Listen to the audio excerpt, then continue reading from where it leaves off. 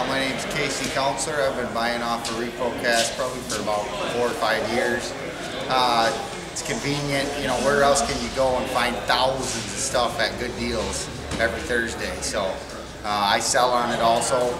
I buy stuff for cheap, turn around, and I'll make money selling it here. So I love RepoCast.